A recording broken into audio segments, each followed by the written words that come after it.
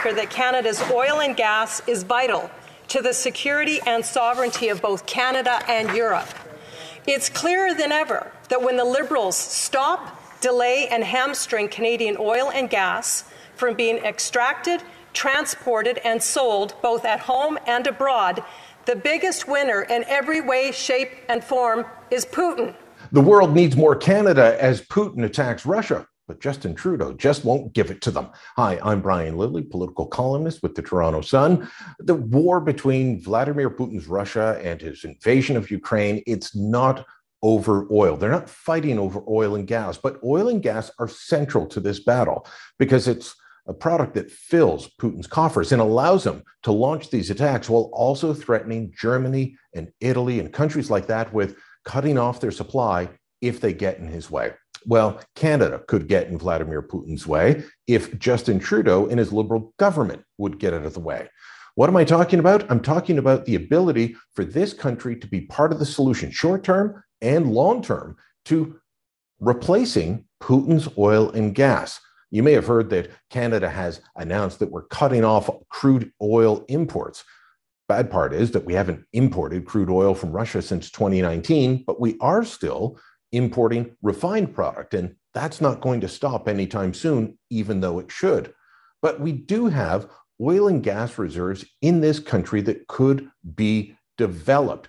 And conservative leader Candice Bergen says that is part of the solution.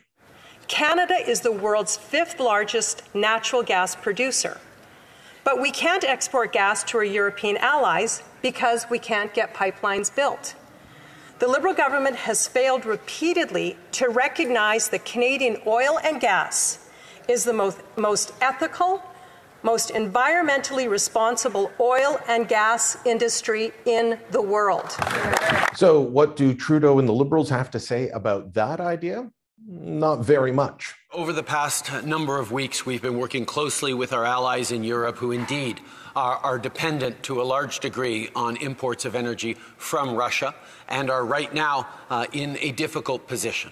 Uh, that is why we are so touched by the steadfastness and the strength of the European response in uh, putting severe sanctions on Russia, even though uh, there is uncertainty in terms of their energy security. And I have assured them uh, that Canada and countries around the world will be there to support them as they move forward. Canada is a, a producer and exporter of energy. Uh, we have banned, as of today, any imports, which were already negligible, uh, from Russia of uh, crude oil. Uh, but we will continue to work with the world to make sure that we can stand strongly against Russia and support people in democracies everywhere.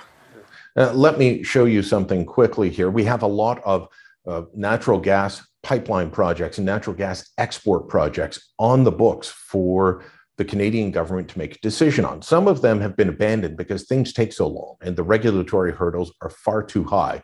But others are just sitting and waiting, while others, in fact, have actually been denied. Check out this notice from February 7th. Steven Guilbeault, the environment minister under Justin Trudeau, canceling the Energy Saguenay pipeline project. Why? Because they felt it wasn't good for the environment, even though the Quebec government had done its own assessment and found otherwise. But the federal denial means the project won't go ahead. This would have taken a ton of Western Canadian natural gas through an existing pipeline system. They would extend the pipeline system across Quebec and then export it through a port in the Saguenay region of Quebec out to Europe and other parts of the world. This would have been a threat to Vladimir Putin, but it's being shut down. And the opposition to it, you can bet that they got some Russian money put into that over the years, just like the Coastal GasLink pipeline project. And the people opposed to that have been funded by American, Russian, and Saudi interests, whether they know it or not, for the last several years to oppose Canadian oil and gas. We are part of the solution, especially in the long term, to taking the air out of Putin's tires, to replacing his product, which he uses the, the profits from for evil means. We can replace it with ethical product that helps the world rather than hurts it. It's time for Trudeau and his liberals to get out of the way and let the world have more Canada. Let me know what you think. Drop a comment down below. Make sure you share this on social media and don't forget to subscribe to our channel.